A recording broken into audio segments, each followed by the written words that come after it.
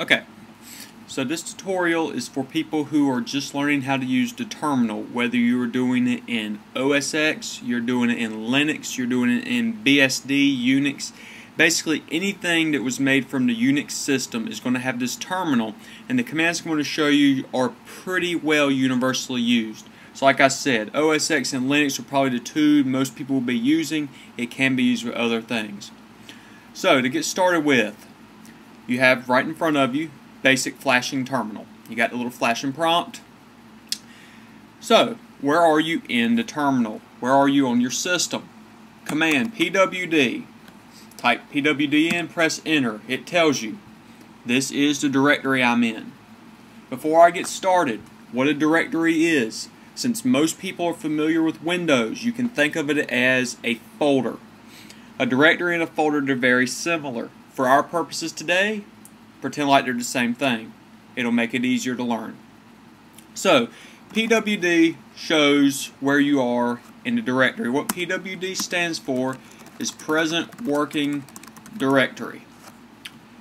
PWD, Present Working Directory. Obviously mine right here is in the slash home slash unity directory. Now, in any Unix system, the forward slash is called root.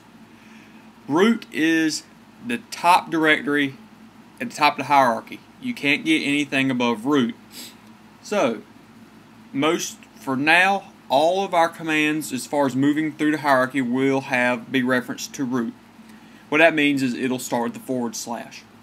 So our first question, how do you change directories?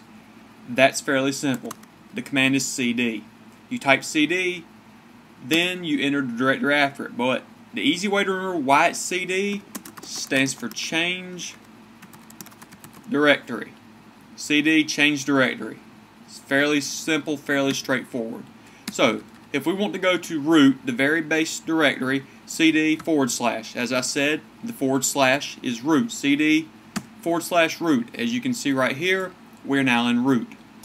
So, the next question, how do you show what's in the directory? Command is ls. Easy way to remember this, ls is short for list. That may not be the exact translation of it, but for me personally, that's the easiest way to remember it. Once you type it five times, you probably won't have to think about it anymore. You'll be using a lot. So, let's show what's inside the root directory. ls enter. Everything you see here, these are directories.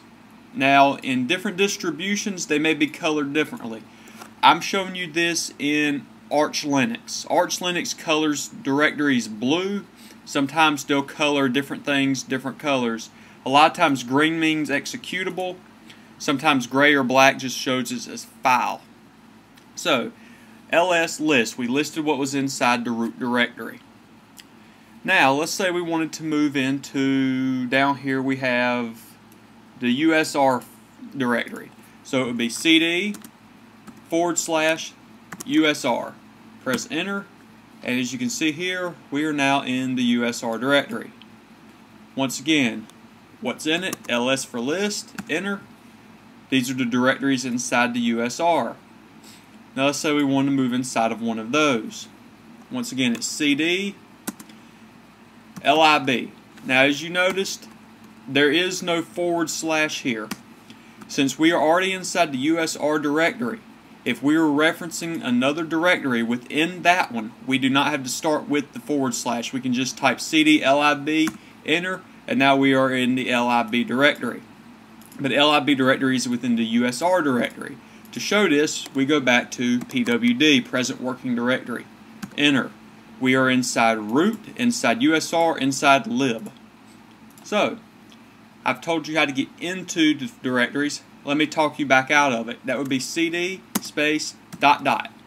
What this does is it backs you up one directory. Since we are in the lib directory, the dot dot will take us up to the USR directory. If I press enter, as you can see, USR, if I do cd dot dot again, we're back to root. You can also do this, let's say cd slash USR slash lib. You can go straight to it. You don't have to do one at a time, you can skip over. That's really useful moving into folders and directories quickly. Once again, if you are in the lib folder and you want to go all the way back to root, you can just cd forward slash for root. We're going back to root. You can either directly reference where you want to go or you can dot dot your way back to it. You'll find it after a while you'll know when you want to do which. If you want to go up just one dot dot, if you want to completely change directories, type it in the path is about the easiest way to go. Now, for moving through directories, that's a basis of what you need to work in the terminal. I've showed you how to go into, I've showed you how to come out of, I've showed you how to list what's in it. So for review, ls, list, cd, change directory. I spelled that wrong. PWD, present working directory. I cannot type. That is not presenting. Present. Those are the basic three commands I've showed you here. It's very basic for working in the terminal, but there are three commands that come in very useful. You will not use PWD very much in the future, but as you're just learning, it's good to give you a point of reference as where you are.